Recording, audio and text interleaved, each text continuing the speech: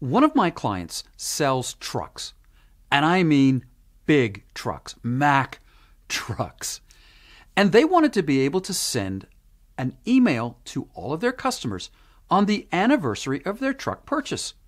Well, in Mautic, that's actually really simple to do, at least if you're using Mautic version 3.2.1 or higher. Before then, well, not so easy to do.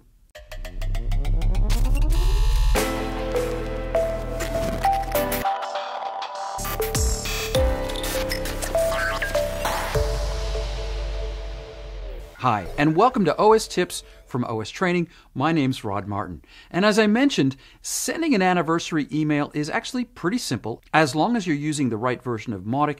And as of this date, 3.2.1 is the right version.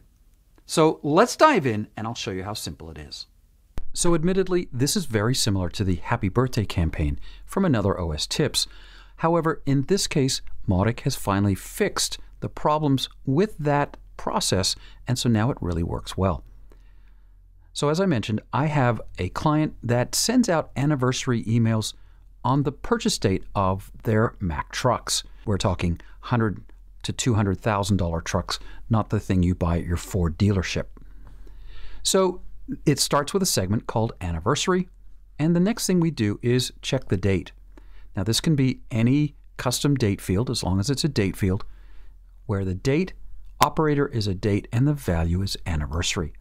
If today is their anniversary, we send the anniversary email and then wait 364 days before we change campaigns and restart the current campaign. That's the action. So again, change campaigns.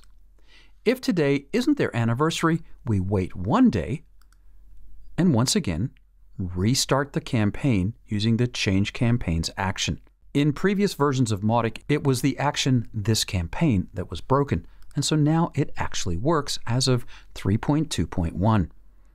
And what better way to build relationships with your customers than sending them an anniversary email on their first, in this case, huge purchase with you? Well, like I said, that was pretty simple. It's just a matter of restarting that campaign based on whether the condition is met or not. And in Mautic 3.2.1, restarting the campaign finally works. And so my customer is pretty happy. They can send out those anniversary emails to their big ticket truck customers and continue to build that awesome relationship that they have with their customers. Well, thanks for joining me today. My name's Rod Martin. This has been OS Tips from OS Training. Hey, hit the subscribe button, hit the like button. That always helps us. And we'll see you next time.